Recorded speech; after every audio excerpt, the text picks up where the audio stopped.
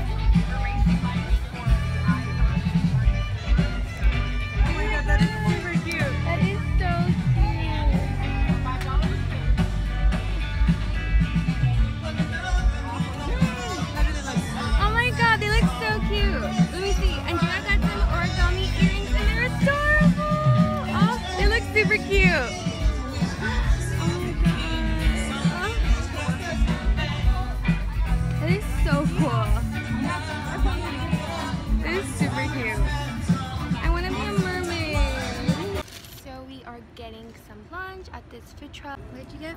A porchetta classic. Yummy. And I got this chicken one. Looks really good. Let me see the food truck.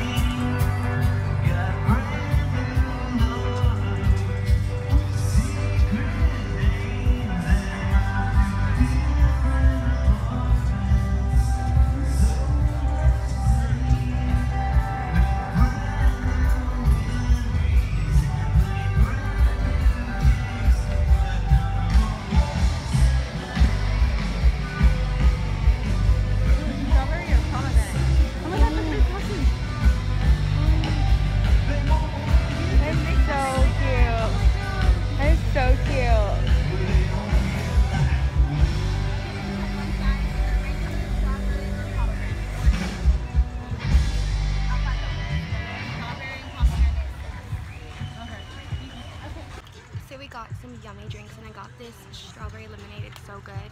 What did you get? We Pomegranate copies of our lemonade. It's called The Heart They're Machine. really good. This year. We don't have them out quite yet, but if you'd like to pick one up, Oh my god, so good. we'll have them after this. It's really cool here. I feel refreshed And this already.